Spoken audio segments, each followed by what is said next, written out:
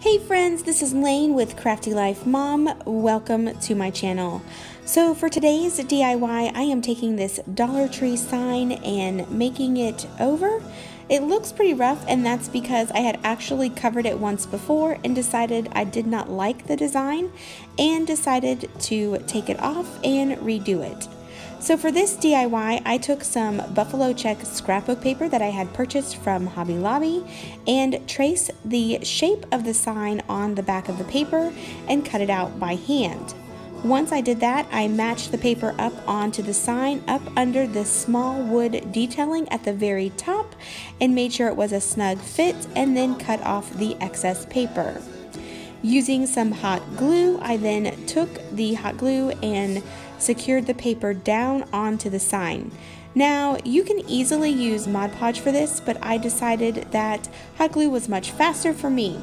If you do use hot glue, make sure that you smooth down any bumps that you may have that the glue may make when gluing down the paper to the sign.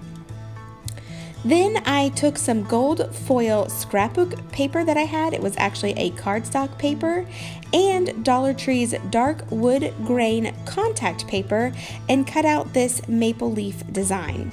The gold cardstock paper is actually a slightly larger shape of the leaf, and then the brown wood grain contact paper is slightly smaller so that I could layer the two leaves together. So the gold foil leaf actually makes a border for the brown wood grain contact paper. Once I had that weeded out, I just simply placed it down on top and just used my hands to kind of line it up, kind of making a layered design with the mapled leaf.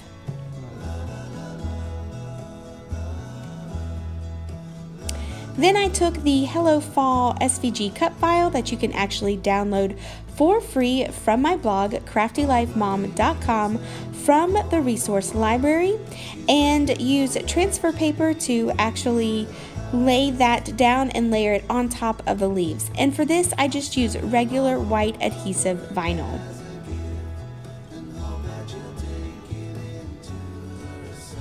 Once you layer the leaf, leaf and the Hello Fall sign, your sign is complete. I just really love the way that this turned out. I think it's so simple and so cute and it was really easy to make.